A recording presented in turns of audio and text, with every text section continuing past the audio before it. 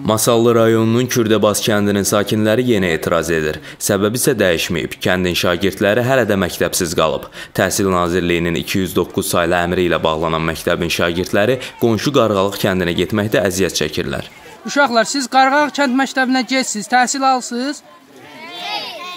Getmisiniz də heç biriniz. Bəs niyə getmisiniz? Niyə getmisiniz ki? Neçə aydır siz məktəbə getmisiniz? Çay. 2 aydır. Ay sağ. Sən yolun vəziyyətini də çək. Bu uşağın o yolda nə cür təhsil almağa getməyin çəkinən 6 kilometrlik yol var.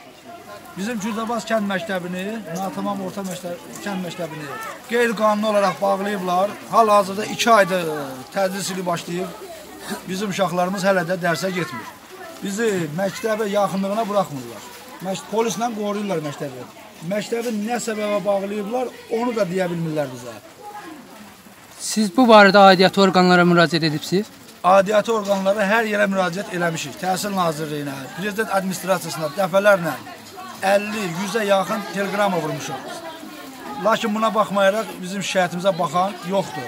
Sizin məktəb Qarğalıq kənd məktəbi ilə birləşdirilib. Bəs siz niyə övladlarınızı ora yollamaq istəmirsiniz? Səbəb nədir? Səbəb bu bizim kəndlə o Qarğalıq məktəbinin e, məsafəsi 6 kilometrdən artıq məsafədir.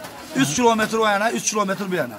Bu uşaqlar 7-8 kiloluq sumka ilə bu yağışda, qarda ora necə gedib gələ bilər? Qarğalıqdan məlumat verirlər ki, uşaqlar məktəbə gəlir, problem yoxdur, hər şey. Amma Qarğalığa gedən 9-cu, 11-ci sinifə gedən uşaqlar ki, bizim məktəb 8 illikdir. 9 illik.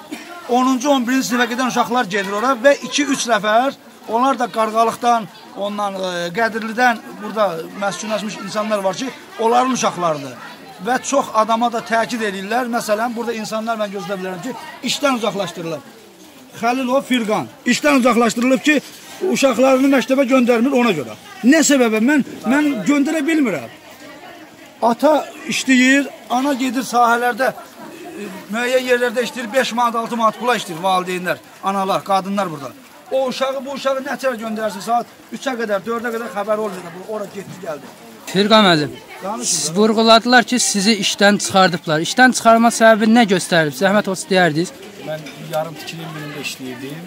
Yəni heç bir şəraiti yoxdur. Kimin isə usta maşın, ustası işləyirdim. Silingər kimi fəaliyyət göstərdiniz. Aydın.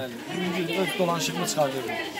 Uşağı məktəbə göndərmədiyimə görə, güya ki 6 kilometr yolu mən göndərməliyəm. Ona görə ona görə məni işdən uzaqlaşdırdılar. Mən məcburam uşağı deyirlər sən təkid edirlər ki, sən uşağı aparmalısan qonşu kəndə məktəbə. Sən məktəbi belə çıxır ki, sən məktəbi fəaliyyətin bərpa edilməsini istədiyin üçün görə işdən çıxarılıbsan.